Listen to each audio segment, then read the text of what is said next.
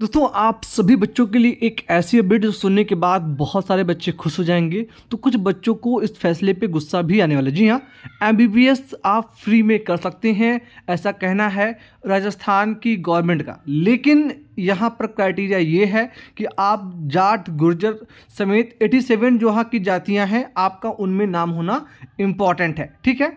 आपके सामने ये एक डिटेल है, अमर उजाला का बताया गया है, जाट, गुर्जर सहित 87 जातियों को एमबीबीएस फ़ीस में मिलेगी छूट स्टूडेंट्स को सालाना साठ हज़ार आठ सौ रुपये का होगा फ़ायदा यानी sixty thousand eight hundred rupees का प्रॉफिट होने वाला है।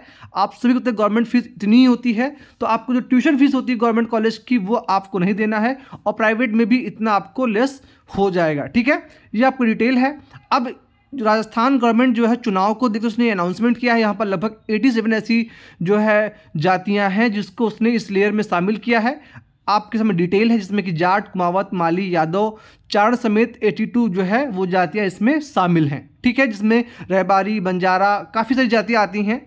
तो ओवरऑल ऐसे बच्चे जिनकी वार्षिक आय, यानी annual income eight lakh rupees से कम है तो ऐसे बच्चों को फ़ायदा मिलेगा।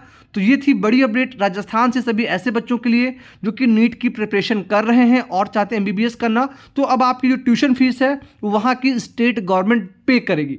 अब यहाँ पर क्या कोई शर्त है? क्या एमबीबीएस के बाद आपको जो बॉन्ड पॉलिसी उसको कंटिन्यू करना है? इन सब बातों पर अभी ऑफिशियल क्लियरेंस नहीं आया है। उसके लिए आपको वेट करना, लेकिन अगर आप जाट, गुर्जर समेत जो 87 जातियों की कैटेगरी जो है डिसाइड की गई है, अगर उसमें आते हैं तो आपको उसका जो फ़ायदा मिलने वाला है। सरकार के इस फैसले पे आपका क्या ओपिनियन है?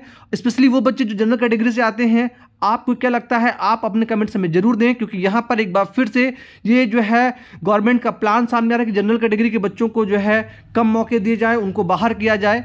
फ़िलहाल के लिए मैं इस पर अपनी बहुत ज़्यादा ओपिनियन आप अपने कमेंट्स में बताएँ कि आपको क्या लगता है, फैसला सही है, गलत है। इस वीडियो में तो ही। आप सभी दोस्तों का बहुत बहुत धन्यवाद। थैंक यू सो मच जय हिंद।